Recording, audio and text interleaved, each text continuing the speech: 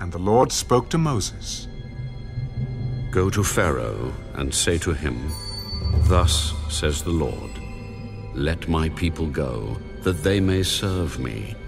But if you refuse to let them go, behold, I will smite all your territory with frogs. So the river shall bring forth frogs abundantly, which shall go up and come into your house, into your bedroom, on your bed, into the houses of your servants, on your people, into your ovens, and into your kneading bowls. And the frogs shall come up on you, on your people, and on all your servants.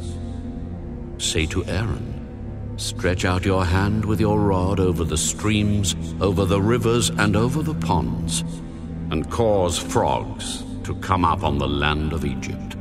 So Aaron stretched out his hand over the waters of Egypt, and the frogs came up and covered the land of Egypt. The magicians did so with their enchantments, and brought up frogs on the land of Egypt. Then Pharaoh called for Moses and Aaron. Entreat the Lord, that he may take away the frogs from me and my people. And I will let the people go, that they may sacrifice to the Lord. Accept the honor of saying when I shall intercede for you, for your servants and for your people, to destroy the frogs from you and your houses that they may remain in the river only. Tomorrow.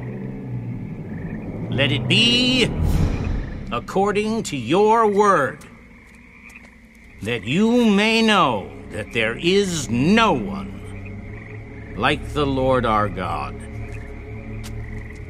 And the frogs shall depart from you, from your houses, from your servants, and from your people they shall remain in the river only.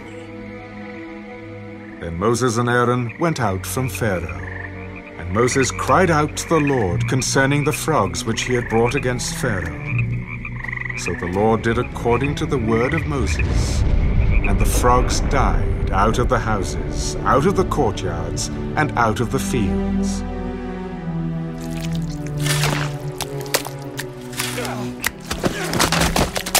They gathered them together in heaps. And the land stank.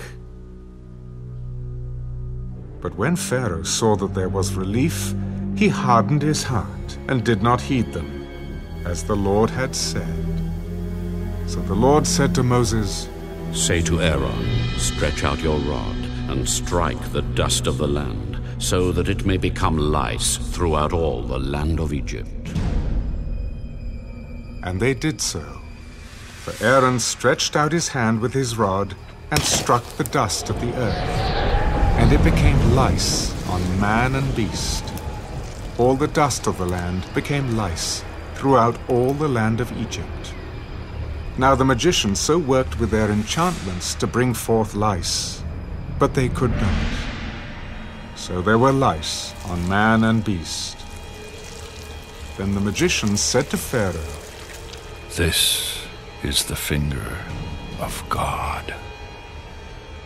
Pharaoh's heart grew hard, and he did not heed them, just as the Lord had said.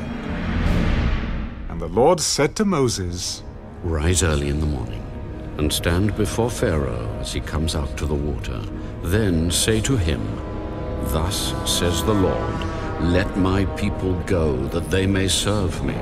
Or else, if you will not let my people go, behold, I will send swarms of flies on you and your servants, on your people and into your houses.